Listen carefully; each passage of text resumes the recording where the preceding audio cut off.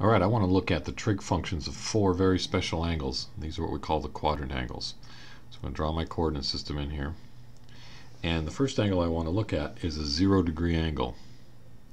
Well, a zero degree angle in standard position has its initial side on the positive x-axis and you turn through an angle of zero so the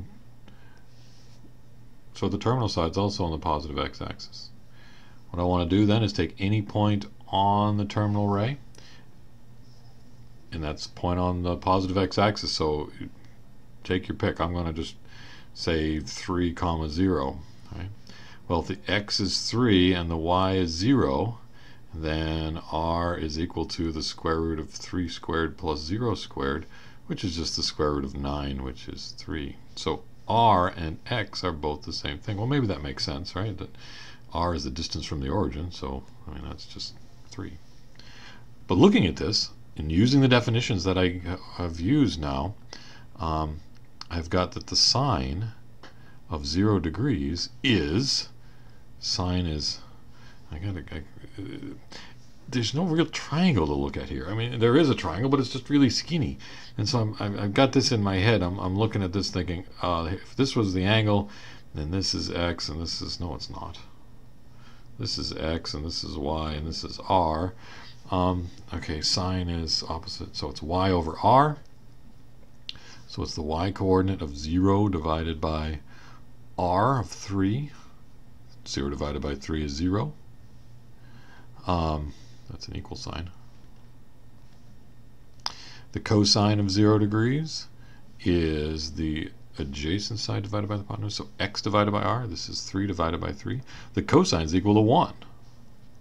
The tangent of 0 degrees is opposite over adjacent y over x. So the y coordinate is 0, the x coordinate is 3. Well, 0 divided by 3 is 0. The cotangent of 0 degrees is the reciprocal of the tangent. It's 3 divided by 0. We don't know how to divide by 0. Um, this is undefined.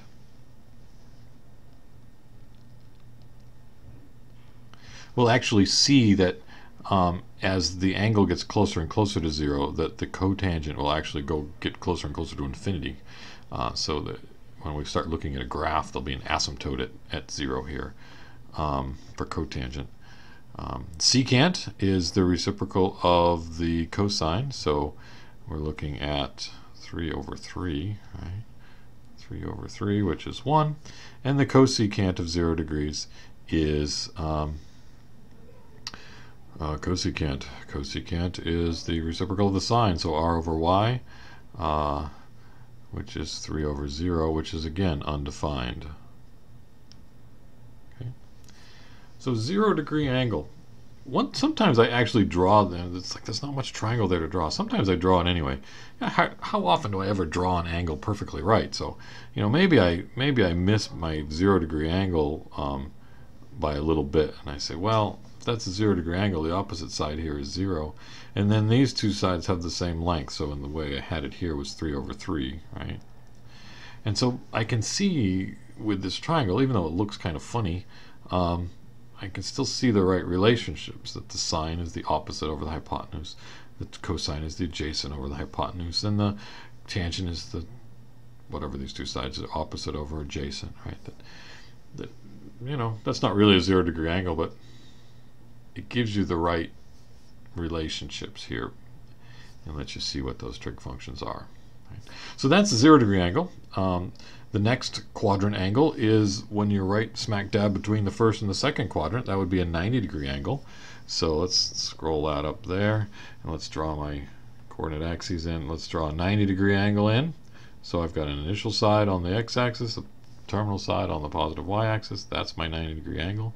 I need any point on the uh, terminal ray. Now I used 3 on the x-axis. I'm going to actually use 1 on the y-axis just because 1's an easier number to work with. Um, so x-coordinate is 0, y-coordinate is 1, which of course makes r equal to 1, right? r, r is the square root of 0 squared plus 1 squared, which is 1. So here we go. What's the sine of 90 degrees? Well, the sine of 90 degrees is oh, And again, I got to kind of think a little bit here. I get my usual triangle. This is theta, this is x, this is y, this is r. So the sine is the opposite over the hypotenuse, y over r. I don't remember y over r. I really don't. I, I sine I know is far away side over hypotenuse. and Oh yeah, it's y over r. Can I look at it like that? So the y coordinate is 1, r is 1. 1 divided by 1 is 1. Uh, the cosine of 90 degrees, well, the cosine is going to be x over r. So the x coordinate is 0. The r coordinate, well, r coordinate, r value is 1. 0 divided by 1 is 0. Um, next thing, what does that be? Tangent of 90 degrees? Tangent of 90 degrees is the opposite over the adjacent. So y over x, y over x, 1 over 0. This is a problem. Can't divide by 0. That's undefined. And the cotangent of 90 degrees is the reciprocal of the tangent, 0 divided by 1. I certainly can divide into 0. That's all right. That's 0. Um, the secant of 90 degrees is the reciprocal of the cosine, so 1 divided by 0. There's a problem, undefined.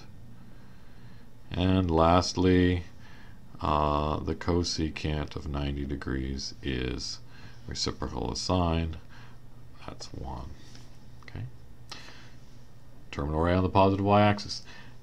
The triangle is tough to draw. When you drop a perpendicular, you don't really see the triangle. But again, sometimes I actually do draw it. And I say, well, here's my 90 degree angle, and I'm my you know my right angle and then I'm going to have a 90 degree angle over here. Well I didn't quite draw that 90 degree angle right but um, but what I'm saying is this side has length 0 the y coordinate here I had as 1 and then the hypotenuse is also 1 okay?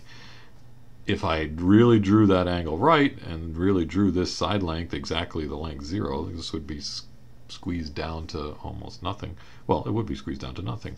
There'd just be a line segment there but it, I still think of it as a triangle. It's just that one of the sides has length 0 and the other two sides happen to lie right on top of each other. But still, look at this angle. Look at this triangle. What's the sine of this angle here? It's the opposite over the hypotenuse. What's the cosine? It's the adjacent over the hypotenuse. And I'm getting these numbers here. Right? Kind of looks a little funny, but, uh, but it works for me. Okay. Next quadrant angle is 180 degrees. So we are term initial ray on the positive x-axis, terminal ray on the negative axis. There's my 180 degree angle.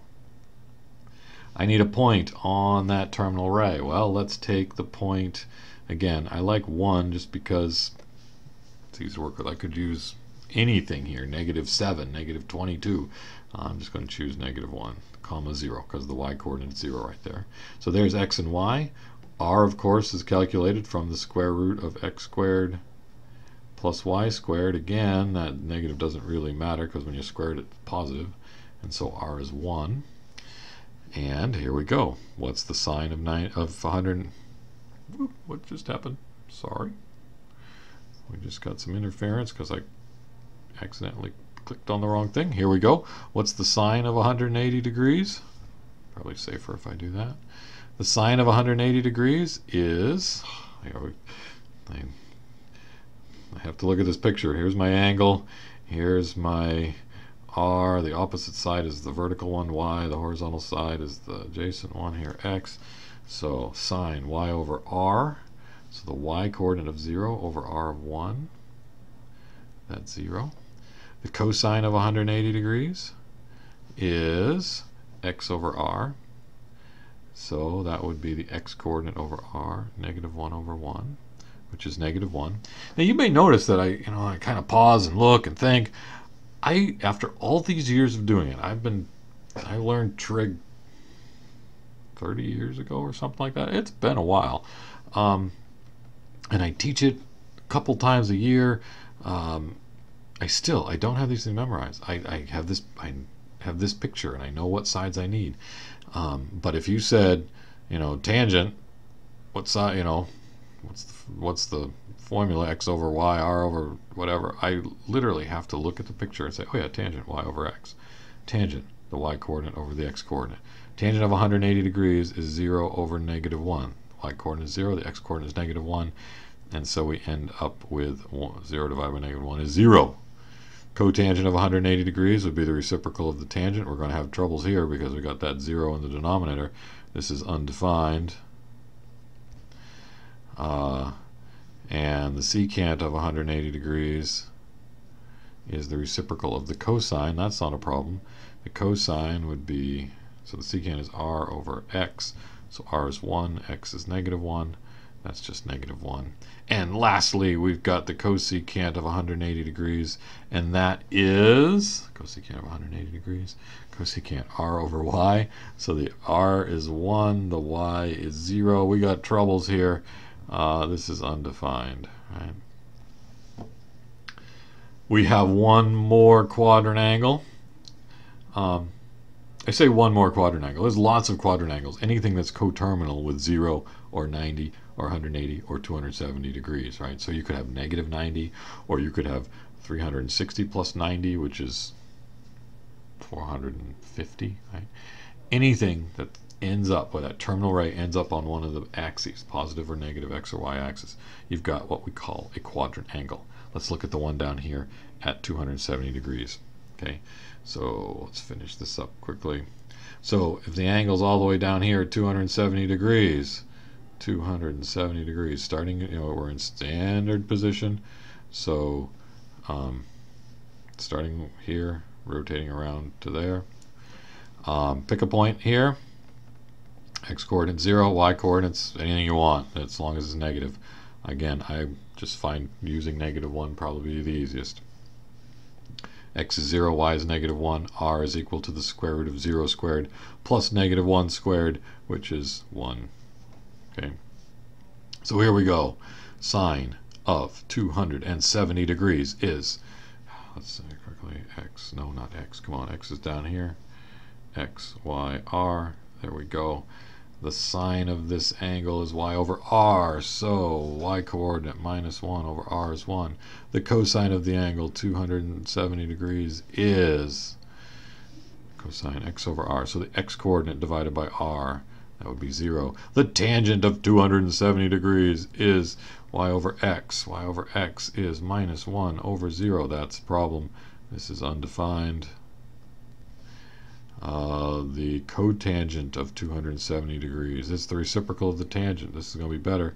I like dividing into 0. That's all right. That's just 0. And then we've got the secant of 270 degrees. Secant of 270 is the reciprocal of the cosine. I've got the x-coordinate, no, the r of 1 divided by the x-coordinate of 0. That's undefined.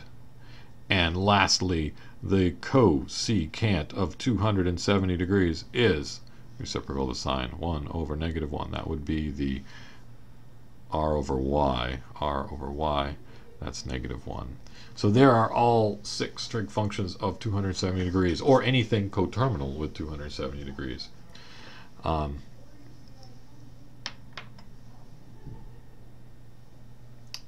thanks.